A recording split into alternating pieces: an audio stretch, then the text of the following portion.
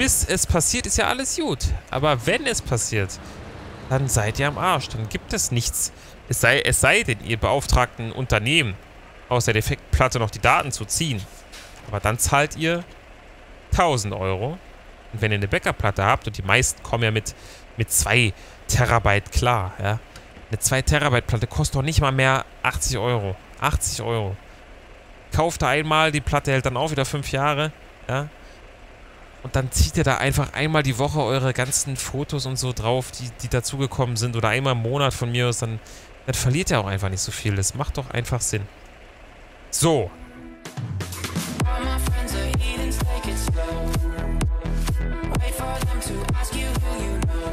Damit wieder hallo und herzlich willkommen zurück zu meinem Let's Play SnowRunner Doffer Truck Simulator auf dem PC Folge 489 der höchstwahrscheinlich letzten Folge hier erstmal auf Michigan denn wenn alles glatt läuft und das Release-Datum so hinkommt, starten wir bereits morgen in der nächsten Folge mit der fünften Phase von SnowRunner. Ich bin mega gehypt, mega gespannt, wieder ein bisschen was Neues zu sehen, was hoffentlich ein bisschen weniger frustriert ist. Jetzt haben wir auch wieder eine etwas stärkere Truck-Flotte am Start. Der Royal BM17 gehört wieder zu unserem Fuhrpark, hat hier gute Arbeit geleistet. Heute beenden wir den Auftrag Holz für die Einheimischen haben damit nochmal neun Holzlieferungen hier auf dieser Karte erledigt. Ja. Das ist der Plan für heute. Wir transportieren den letzten langen Baumstamm zum Sägewerk, bringen dann den Anhänger zurück, verkaufen das Ganze und lagern alle unsere Trucks ein, die wir für die fünfte Phase gebrauchen könnten. Und dann, wenn alles glatt läuft, sehen wir uns nächste Folge im Startmenü wieder, denn dort werden wir ein neues Bild sehen. Und dann starten wir direkt mit der fünften Phase. Habe ich richtig Bock drauf. Auch schön für mich. Ich wollte heute auf jeden Fall SnowRunner aufnehmen, aber auch nur das. Und äh, da ich jetzt eh nicht weiter aufnehmen kann, weil ich sonst zu viele Folgen habe und wir dann die fünfte Phase quasi erst verspätet starten können, werde ich heute das dabei belassen, keinen weiteren Part mehr aufnehmen. Das heißt, ich muss dann sowieso äh, am 9. wieder aufnehmen, aber das ist erstmal nicht ganz so schlimm.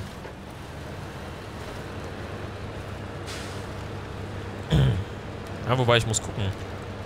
Also kann natürlich sein, dass ich da äh, Probleme mitkriege. Also, aber ich werde es schon irgendwie hinkriegen. Corona ist ja immer noch ein ernstzunehmendes und großes Thema in Deutschland und auf der ganzen Welt. Und auch ich äh, habe mich natürlich dazu entschieden, mich impfen zu lassen gegen das Coronavirus. BioNTech Pfizer heißt mein Impfstoff, den ich bekomme. Und äh, für mich, zum Zeitpunkt der Aufnahme, ist morgen früh der Arzttermin zur zweiten Impfung. Und die zweite Impfung bei BioNTech soll ja ein bisschen knallen. Habe ich von einigen mir sagen lassen. Deswegen hoffe ich aber einfach mal, dass mein Körper da nicht groß die Tüte aufmacht und ich dann morgen und übermorgen dann trotzdem mit kleinen Einschränkungen zumindest aufnehmen kann. Ich weiß nur von der ersten Impfung, dass mein Arm höllisch, also zu nichts mehr zu gebrauchen war. Ich konnte ihn nicht bewegen. Ich habe seinen linken Arm bekommen und ich konnte, also er war dann so. Und ich konnte ihn so bewegen, mehr nicht. Ging gar nichts mehr. Also ich konnte auch nicht richtig liegen. War eine schöne Nacht, sage ich mal. Sehr viel Schlaf bekommen. Ähm, ja. Wird diesmal wahrscheinlich ähnlich sein. Wobei auch manche gesagt haben, dass äh, beim zweiten Mal gar nicht so krass der Arm war. Dafür halt eher andere körperliche Beschwerden wie eben Müdigkeit, Kopfschmerzen und sowas halt.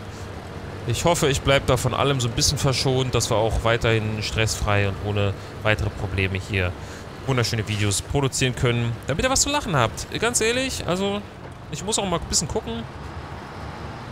Will auch in Zukunft ein bisschen mehr darauf achten, dass ich nicht so viele, nicht so viel Leere sprechen lasse, ne? Gerade bei solchen Games. Die sind eigentlich darauf angewiesen, dass man durchgehend irgendwas sagt. Das Problem ist nur, dass man nicht immer was zu sagen hat versuch du mal 20 Minuten lang auf irgendeinen random Shit drauf loszureden. Müssen wir hier nochmal aufpassen. Man muss halt so eine Kombination machen aus Sachen, die man zum Spiel erklärt, als auch irgendein, irgendein Bullshit labern. Ich meine, ab und zu labern wir über, über äh, Netzwerke, Server, ne, Festplatten. Haben wir letzte Folge kurz wieder angeteasert, dass mein Server gerade ein paar Probleme hat mit einer Festplatte. Was ich so gar nicht geil finde, weil es eine der guten Platten ist. So, jetzt haben wir hier ein Problem. Jetzt muss ich probieren, hier einfach durchzupushen. Ich wusste, es gibt Probleme. Ein bisschen mehr Power. Komm, komm, komm, komm. Weil es halt eine meiner besten Platten ist, die da gerade äh, langsam anfängt zu sagen, ey, du, ich, ich will eigentlich nicht mehr. Ich könnte jetzt mal in den Ruhestand gehen. Wie alt ist sie denn, muss ich überlegen. Ich weiß nur, dass sie 19.500 Betriebsstunden ungefähr hat. Was eigentlich nicht so viel ist, wenn man bedenkt, dass es eben eine Festplatte ist, die für Dauerbetrieb ausgelegt ist. Für Dauerbetrieb ausgelegt würde für mich auf jeden Fall heißen, so drei, vier Jahre 24-7 Betrieb. Da könnt ihr euch gerne mal ausrechnen, wie viele Stunden das sind. Ich weiß es jetzt leider nicht aus dem Kopf. Also 24 Stunden mal 365, das Ganze mal 4. Das ist, denke ich, eine ordentliche Anzahl an Stunden. Ich will das jetzt wissen, deswegen rechne ich es mir einfach während der Fahrt auf dem Handy aus. Wenn es mein Gesicht erkennt, was es natürlich nicht macht. So, ich probiere das Ganze ein bisschen nebenbei zu machen. Ein bisschen mehr Speed hier aufbauen. Wo mein Rechner? So, 24 Stunden mal 365 Tage mal 4 Jahre beispielsweise sind dann schon mal locker flockig 35.040 Betriebsstunden auch Werte, die ich bei einigen Platten schon bei weitem überschritten gesehen habe. Also es gibt ja auch so diverse Screenshots im Internet und ich kenne auch Leute von YouTube, die auch solche Platten eben haben. So, jetzt habe ich es gewusst. Jetzt kommen wir hier nämlich gar nicht mehr hin. Äh, es gibt durchaus Festplatten, die auch nach weit über 80.000 Betriebsstunden noch keinerlei Fehler haben, immer noch laufen. Es hängt halt auch immer stark von der Temperatur ab und ich glaube, das ist auch der Grund, warum bei mir diese Platte jetzt Fehler macht, weil die anderen Platten machen das alle nicht und es liegt halt ganz äh, schlichtweg daran, dass ich diese Platte schon so gut wie vor allen anderen Platten hatte. Das ist eine Western Digital Black mit 6 Terabyte. Zum Zeitpunkt des Kaufes war 6 Terabyte die größte Speicherkapazität, die man sich zumindest als Konsumer kaufen konnte. Damals sogar ich glaube, 280 Euro gekostet. Also wenn man bedenkt, dass man heute für eine 6 Terabyte Platte 110 Euro zahlt. Für eine, äh, für eine vergleichbar gute 140, 150 Euro. Dann ist es natürlich schon krass. Ne? Das ist natürlich schon einige Jahre her. Hm, das Problem war nur damals, das war die zweite ich hatte eine Festplatte, als ich meinen PC 2013 geholt hatte. 2013, das war eine Western Digital Green. Habe ich auch noch, die läuft, die läuft noch gut. Die hat, äh, die hat glaube ich, 20.500 Betriebsstunden. Also nochmal 1000 mehr.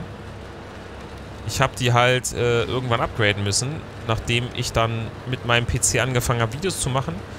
Und weil halt auf der 2 Terabyte Platte sowohl alle meine Daten als auch die Spiele und noch meine Videos drauf waren, äh, ist sie natürlich relativ schnell voll gewesen. Und ich musste upgraden und habe dann direkt eine 6 Terabyte Platte geholt, dass ich dann die Spiele auf der 2 Terabyte HDD erstmal hatte. What a shame. Games on an HDD. Äh, aber das war halt damals einfach so. Und dann hatte ich auf der 6 Terabyte Platte alle Medien drauf, alle Dateien und eben auch meine Videos.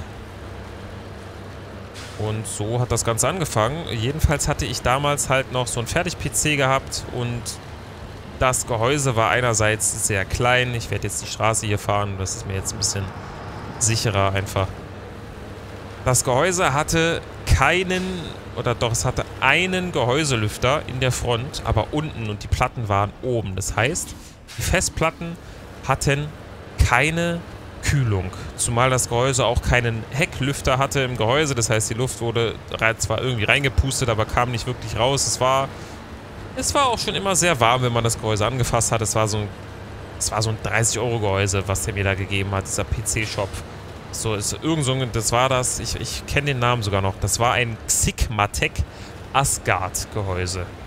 Ja, die gibt es heute immer noch zu kaufen für, für 15 Euro oder so. Das sind somit die billigsten und schlechtesten Gehäuse, die es gibt. Aber gut, damals äh, kannte ich mich nicht aus, wusste nicht, dass es schon Gehäuse gibt aus Glas mit Sichtfenster und so, wusste ich alles gar nicht. Ich wollte einfach Damals war ich auch noch so einer dieser User, die, die wollen auf, auf Knopf drücken und es muss funktionieren. So. Wäre schön, wenn es heute auch noch so wäre. Ist schön. Mm. Jedenfalls eine WD Black. 7200 Umdrehungen, über 200 MB die Sekunde. Das war damals alles nicht typisch. Die Platte war ein richtiger Hitzkopf. Auch nicht Helium gefüllt, ne? 6 Terabyte Platten, weiß ich gar nicht, ob es überhaupt welche gibt, die Helium gefüllt sind. Ich glaube, das machen die Hersteller erst bei 10 Terabyte Modellen und aufwärts, weil da einfach mehr Platter benötigt werden. Das machen die, um einerseits natürlich die Platten kühler laufen zu lassen, andererseits natürlich spart, naja, spart natürlich Strom etwas, ne? weil der Luftwiderstand nicht vorhanden ist. Beziehungsweise durch das Helium irgendwie, ich weiß nicht, was wie da der Luftwiderstand ist. Eigentlich soll es gar keinen geben. Ne? So. Ich bin kein Physiker, ich war in Physik schlecht, also will ich da jetzt gar nicht probieren, irgendwas zu erklären. Der Fakt ist, und das ist auch das, worauf ich hinaus wollte, die Platte lief in diesem Gehäuse immer sehr, sehr heiß. Und wenn ich sehr, sehr heiß meine, dann meine ich äh, bis zu 65 Grad. Und alle, die sich ein bisschen mit Festplatten und HDDs auskennen, die würden mir jetzt, glaube ich, die ernsthafte Frage stellen, wie das Ding überhaupt noch laufen kann, weil... Also wenn, wenn sich Leute wirklich extrem viel Sorgen machen um ihre Festplatten und extrem Nerd sind in dem Bereich, dann bekommt man meistens zu hören, also allerhöchstens 45 Grad. Alles drüber ist schon nicht gut. Laut offiziellem Datenblatt ist die Platte sogar bis 65 Grad zertifiziert, aber natürlich muss man immer sagen, dass jeder zusätzliche Grad, den eine Festplatte ausgesetzt ist, die Ausfallwahrscheinlichkeit natürlich ansteigt. Das ist einfach so, Festplatten, je kühler es ist, ich rede jetzt von Raumtemperatur nicht von Minusgraden, je kühler es ist, desto gesünder ist es natürlich für die Platte und desto höhere Zuverlässigkeit und Lebenszeit kann man da erwarten. Und ich glaube, dass ich mir das gerade in dieser Zeit ziemlich versaut habe mit der, mit der Platte. Die WD Green, die ich noch benutze, war zwar auch in dem Gehäuse, aber die ist ja nur mit 5400 Umdrehungen gelistet und hat weniger Platter drinne, weniger Performance. Das heißt, die Platte hat natürlich grundsätzlich keine Hitzeprobleme, weil sie eben auch nur halb so viel Strom verbraucht. Ja, deswegen, die Platte war nie ein Problem. Die läuft auch jetzt ohne irgendeinen Fehler. Super Platte. Aber eben die Black hat gestern 556 nicht korrigierbare Sektoren gehabt. Das ist jetzt nicht so viel. Wenn man bedenkt, dass ein Sektor 4 Kilobyte ist, dann sind das halt gerade mal ne, paar MB. Ich rechne das auch gleich nochmal aus. Erstmal beenden wir die Aufgabe. Danke für deine Hilfe bei der Entwicklung unserer Region. Ohne Fahrer wie dich hätten wir es niemals geschafft. Es gibt 2060 Erfahrung und 22.450 Belohnungen. Immerhin ein ganz nettes äh, Ding. Boah, aber guck dir das mal an. Dass wir nur für die eine Fahrt haben wir jetzt auch echt viel Kraftstoff weggeballert. Weil ich die ganze Zeit mit Allrad gefahren bin. Deswegen. Na gut, jetzt mit dem vollen Kraftstoff habe ich nicht mehr drauf geachtet. Ich muss noch mal ganz kurz ausrechnen. Wir haben 4 Kilobyte pro Sektor. Wir haben 556 Dinger. Siehst du, sind 2224 äh, Kilobyte. Das sind ja gerade mal, ne, also durch 1024 2,1 Megabyte. Ja, das ist dann, das ist dann jetzt quasi ein, ein großes Word-Dokument, was man da jetzt quasi nicht mehr drauf speichern kann, weil die Festplatte diese Sektoren nicht mehr benutzen kann.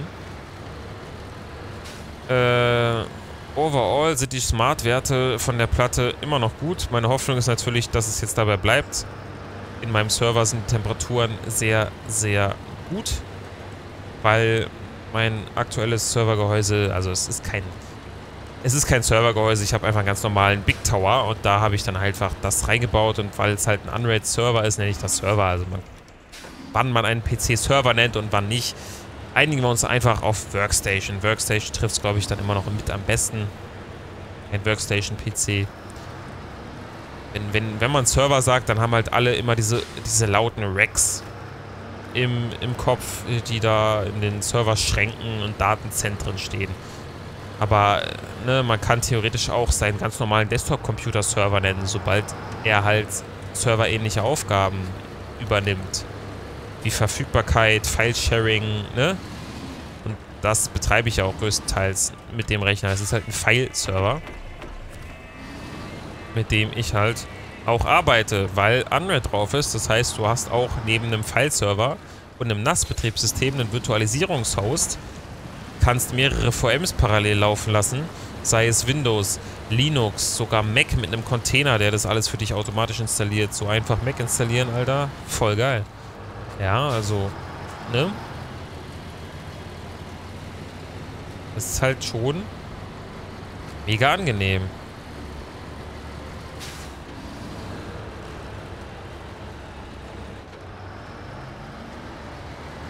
Ja. Hoffnung mache ich jetzt jedenfalls auf die Platte, dass sie mich jetzt nicht im Stich lässt. Ansonsten müsste ich die angesprochenen circa 140, 150 Euro bezahlen für einen Ersatz. Ich kann natürlich auch sagen, ich lasse das Array jetzt einfach ohne die Platte weiterlaufen und habe dann 6 Terabyte weniger Gesamtkapazität, aber das wäre dann nicht ganz so toll. Und früher oder später werde ich es dann ja doch wieder upgraden müssen. Also, ja. Lieber direkt tauschen. Die Parität spielt die Daten wieder zurück, wo sie waren. Und dann läuft es wieder. Aber, ja. Ich werde es jetzt natürlich drauf anlegen, weil ich einfach nichts verlieren kann. So, ich habe das alles auf Backup-Platten, auf der Parität. Selbst wenn die Platte dann irgendwann im Betrieb aussteigt, verliere ich da gar nichts. Deswegen lasse ich die Platte bis zum bitteren Ende laufen. Und vielleicht, wer weiß, sind jetzt einfach diese Sektoren ausgefallen und die Platte läuft jetzt wieder drei Jahre am Stück ohne weitere Probleme. Das wäre natürlich super. Ist bei manchen Platten auch durchaus so der Fall. Bei anderen Platten wiederum ist es aber so, dass es jetzt im Laufe der Tage und Wochen immer mehr Sektoren trifft und irgendwann fällt dann eben ein Bauteil der Platte komplett aus und dann ist natürlich äh, das Schicksal der Platte äh, auch endgültig besiegelt. Ja, dann kann man auch nichts mehr machen, dann, dann war es das. Ne? Das ist dann traurige Wahrheit. Aber ja, was soll man machen? Nichts hält für ewig. Auch Dauerbetriebsplatten nicht. So ist das halt. Deswegen, Freunde, wenn ihr einen PC habt mit nur einer Festplatte und ihr habt da ein paar Fotos drauf, Schulsachen, Vielleicht auch ein paar Videos, ein paar Clips, die ihr mal von eurem Gaming-Abend gemacht habt. Macht ein Backup. Ja, ihr werdet, ihr werdet es bereuen, wenn ihr es nicht macht. Wenn, ja, bis es passiert, ist ja alles gut. Aber wenn es passiert, dann seid ihr am Arsch. Dann gibt es nichts. Es sei, es sei denn, ihr beauftragt ein Unternehmen, aus der Defektplatte noch die Daten zu ziehen. Aber dann zahlt ihr 1000 Euro und wenn ihr eine Backup-Platte habt, und die meisten kommen ja mit, mit 2 Terabyte klar, ja. Eine 2 Terabyte Platte kostet doch nicht mal mehr 80 Euro. 80 Euro. Kauft da einmal, die Platte hält dann auch wieder 5 Jahre, ja. Und dann zieht ihr da einfach einmal die Woche eure ganzen Fotos und so drauf, die, die dazugekommen sind. Oder einmal im Monat von mir aus. Dann, dann verliert ihr auch einfach nicht so viel. Das macht doch einfach Sinn. So. Abstellen.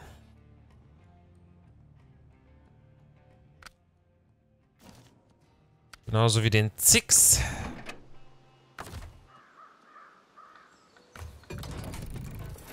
Abstellen.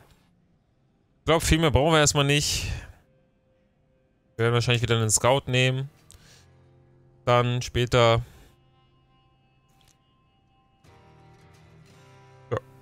Sorry. So, also... Ich denke... Wir sind mal ganz gut vorangekommen. Ich werde nochmal ganz kurz auf die Karte gehen. Wir haben den Fortschritt auf 60% ausweiten können. In, äh, in Michigan. Sind damit wieder vor Alaska. Aber auch hier sind 41 Missionen erledigt. Das ist ja interessant. Das ist ja sehr interessant. Den Time haben wir nur 30 erledigt, haben aber auch nicht mal... Ne, Halbinsel Cola nur 25, das ist halt, äh... Äh...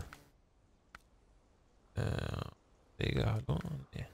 8 von 55 Grad mal, ach du Scheiße. Yukon 39 immerhin.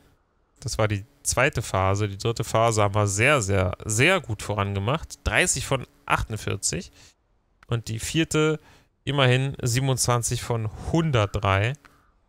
Ja, also, ui. 103, ja, auf den vier Maps, müssen wir mal vorstellen. Wisconsin hat auch vier Maps, aber da gibt es nur 48. Das heißt, da gibt es gefühlt doppelt so viele Aufgaben. Wahnsinn, ne? Echt Wahnsinn. Freunde, wir sind am Ende angekommen. Ich hoffe, ihr hattet Spaß beim Zuschauen. In der nächsten Folge geht es dann hoffentlich, wenn alles nach Plan läuft, weiter mit. Ja, es geht weiter mit ähm, der fünften Phase. Ich hoffe doch sehr, dass wir da auf dieser Map wieder unseren Spaß haben werden. Und damit würde ich sagen, vielen Dank euch wieder fürs Zuschauen. Tschüss, bis zum nächsten Mal.